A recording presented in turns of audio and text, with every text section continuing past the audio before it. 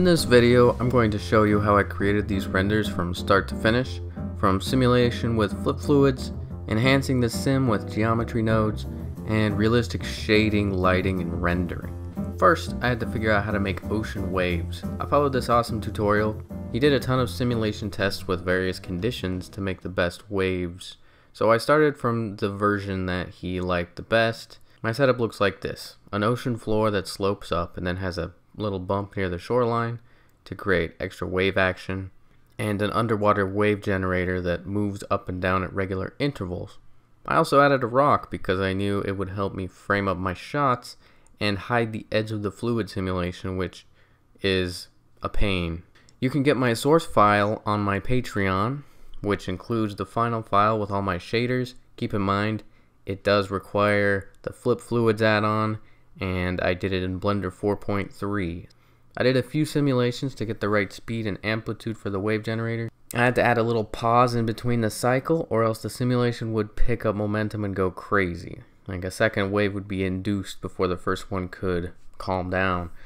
And then there's whitewater. I experimented with those settings because by default it wasn't generating enough foam. I turned wave crest emission rate to 225, same with turbulence, and then I also turned up the max particles so I wouldn't uh, max out. You can't have photorealism without enough detail, so I cranked up the subdivisions to 450. I would try to go higher with that, and it would look better. As you can see, there's some chunky bits and the fluid droplets. But I'm about to show you a bunch of shading and geometry node tricks to improve this result. If you like this video, give it a like and subscribe for more. Help me reach my goal of 20,000 subscribers. The first thing I want to do is get rid of all these individual little fluid particles. After a quick Google search, I found a geometry node setup that deletes mesh islands based on scale. And boom, they're gone. I also smoothed the mesh using this setup and that helped it have a more fluidy look.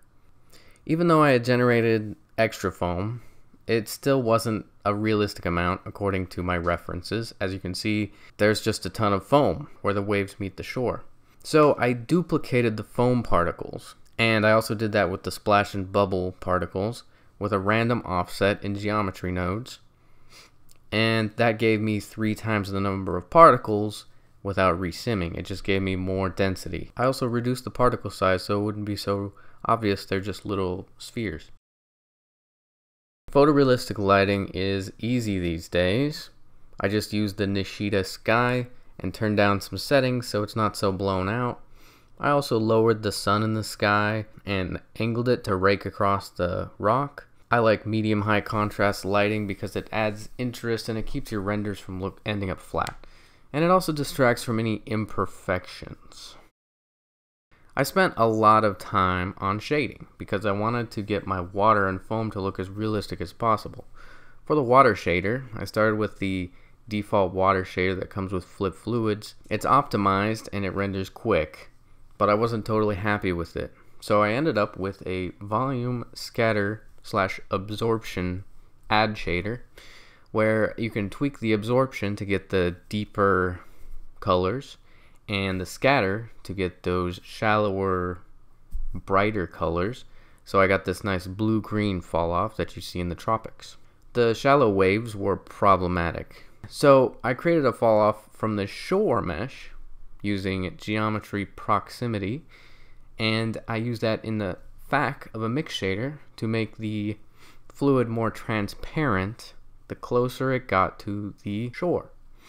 I also shifted the shore up just a little bit. I still wanted more foam. So I used the same fall off trick for the foam particles, driving the FAC of a mix shader. So the areas around foam particles would be a white shader. I blurred it and multiplied it by the velocity so I wouldn't have uh, little white circles around every particle. And now for the foam and bubbles. If you look close at ocean foam, as you can see, it consists of tiny air bubbles. So I found a bubble shader. It's pretty simple, and it's really just transparency and reflection. And there was instantly a nice boost in realism. At first I had a refractive shader on the underwater bubbles, but they ended up looking like boba, which I then realized they're just air. as well. So I slapped the same bubble shader on them and they instantly looked like bubbles. For the shore, I gave it a nice sandy color and subtle noise displacement. And I also made a fall off based on the distance from the water using dynamic paint to make it darker and more reflective closer to the waves. And that really helped blend it with the water. I tried out a few camera angles and I discovered this GoPro style looked pretty cool. The others I left static because I didn't want to detract from the motion of the waves with a ton of fancy camera movement. I did use the LensSim add-on for some of them so I could get some natural bokeh, chromatic aberration, vignetting. It's really nice. It just takes longer to render. All these renders altogether took 92 hours on a 4090 at 2560 by 1440 resolution. When you render a lot of volumetrics and reflections, overlapping refractions and stuff, you want to crank up your bounces. So I set them to 64 for almost everything. If you don't turn up your bounces, you'll get these dark little bubbles underwater because they just are not getting any light rays. Another couple of things with rendering flip fluids, you'll need to click this initialize motion blur button for motion blur to work. And then you should render through the command line render in flip fluids because rendering through regular Blender was having some glitches and it's a bit unstable. In fact, it says so. Finally, I did some sound design using free sounds from Soundly, which is an awesome app. And this was the result.